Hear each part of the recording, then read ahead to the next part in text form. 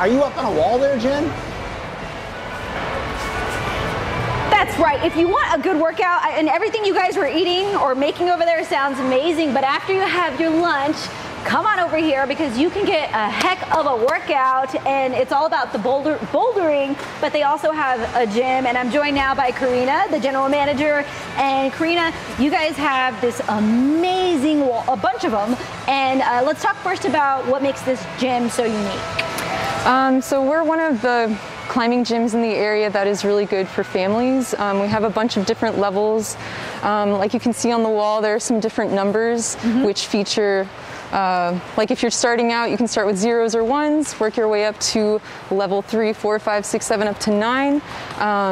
And so I guess we're gonna have Jen try an easier problem, but yes. we also have really cool community events. So we're not just about being strong. We're also about being here for the whole community and I the families. That. Now you, you, were mentioning it's not it's like art exhibits that they have out in the front. They have an awesome coffee truck in the front. So so this is our zero level. So if you're a beginner, I like what you said. If this is your first time trying this, come with friends, right? Yes. Okay, so I like that it's my beginner level because I don't do this now. You've been doing this for five years, right? Yes. Um, so she's following the green colors. You're trying to stick to one color going all the way up the wall.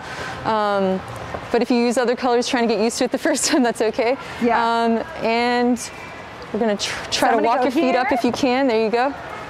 And then try to grab this one. Okay. Yeah, you can use this foot too. You can come over a little more if you okay. need to. Yeah, there you go. Oh, here we go. Shifting your body over. Good job. Here we go. Okay. And, and it's okay to use some of these other ones. yes, especially when you're getting used to it, but you're trying to get to that taped hold with both hands. This one? Oh yes, my gosh. Which you might need another foot. Okay. Yeah, yeah. Well, I'm gonna keep trying this, but you have an expert over there who's been doing this for six years. So that's Nathaniel. John Nathaniel, yes. And he's going to town over there. What would you say the biggest challenge is when it comes to rock or bouldering? Um, I would say it is developing muscle memory, being able to trust your body in certain um, well, you can see right now John Nathaniel's kind of really tense, but you can't really tell because he's very strong. Um, but you really have to, it's like dancing on the wall in a different way with a lot of tension and strength. And the most important thing that I remember the last time I came here, God, he makes it look so easy, was that when you go, when you fall down, that's like, because these are all very soft, by the way, if you were watching and if you were worried about me.